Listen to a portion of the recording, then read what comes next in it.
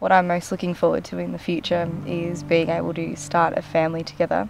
It's the one thing that I've always wanted, and when I met you, I knew that we would have an incredible life together with wonderful children and an incredible house.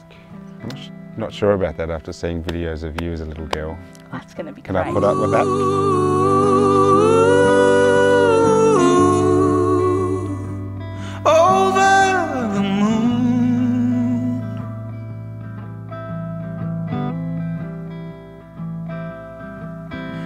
And it's all because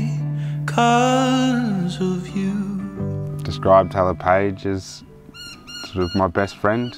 Uh, we spend hours and hours together and most of the time we don't get sick of each other. Uh, she keeps me in line when I need, when she needs to. Uh, she's kind-hearted, always help anybody. Uh, she's gorgeous. She looks after me more than she should. My favourite adventure with Luke is really hard to pin down because we have done so much together already.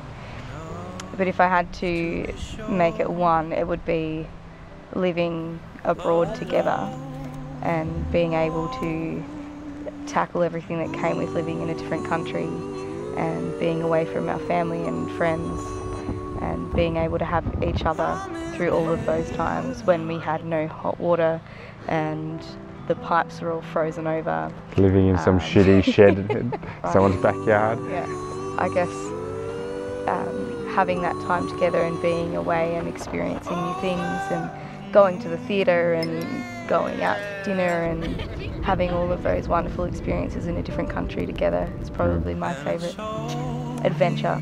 Cause we took a night drive down 12th Avenue.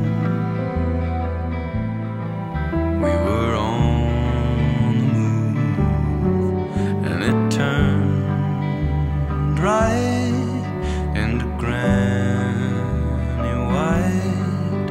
We were sure of it all.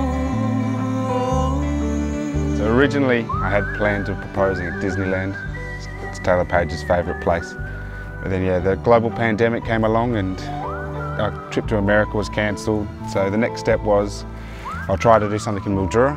So I was thinking about booking the, the shed down at the homestead and trying to decorate it in a Disney theme and have a, a private dinner down there and propose. But then we went into lockdown, so we weren't allowed to leave the house, and so that plan went out the window. And then I made this little book from the movie Up, um, from the start. So that took ages to make, you know, to keep sneaking off trying to make it. And because we were both locked at home, Taylor Paige was like, where are you going? What are you doing? And so it was really hard to find time to go and make it.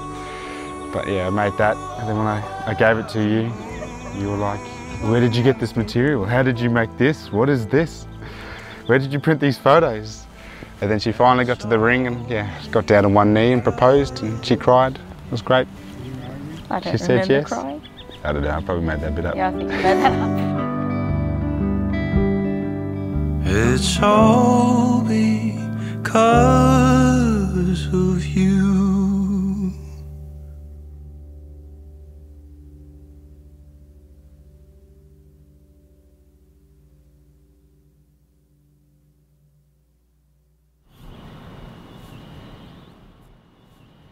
Well, I've got to show you.